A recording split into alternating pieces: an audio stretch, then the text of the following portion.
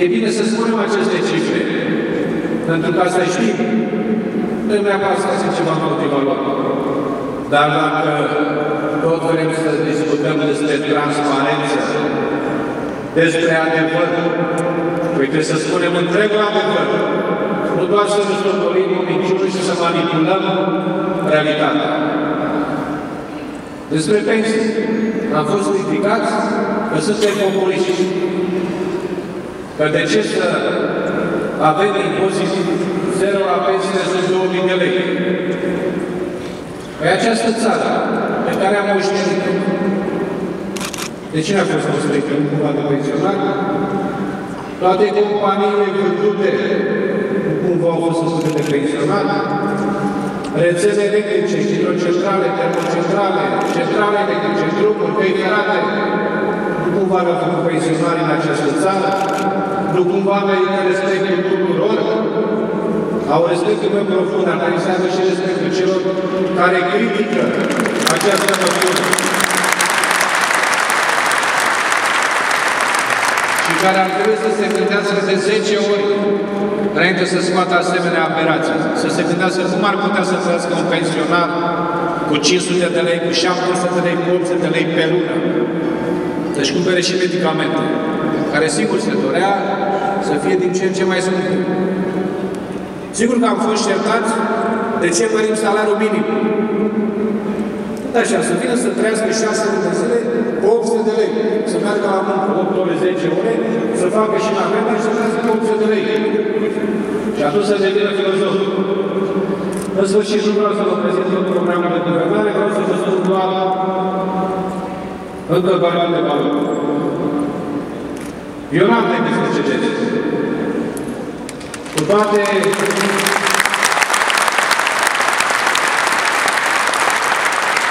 cu toată această campanie foarte bine plătită. Este un singur obiectiv. Ca acest program de guvernare să nu se pună în practică. Și o am ținești pe cel care l-a propus, care l-a prezentat, care a condus și care susține în continuare această majoritate.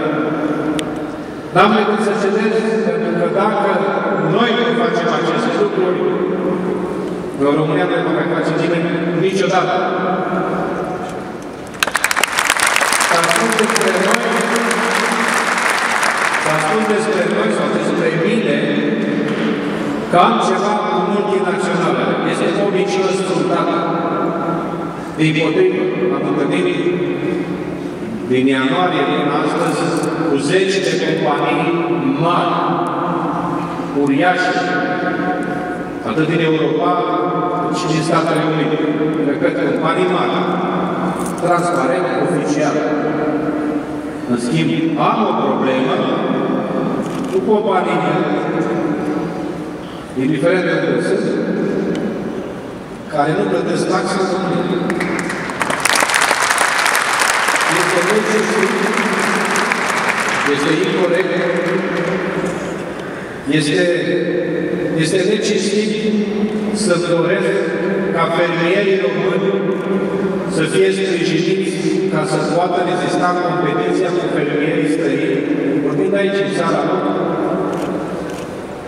este incorrect să-mi doresc, așa cum ne dorim cu toții, ca medicii din România să aibă salarii comparabile cu cele din Europa și să rămână în țară? Cred că nu. Dacă vorbești ceva pentru țara ta, se poate spune că nu ești european? Oricare guvern din Europa se gândește în primul rând la țara pe care o guvernează. Să uitați-vă cu atenție.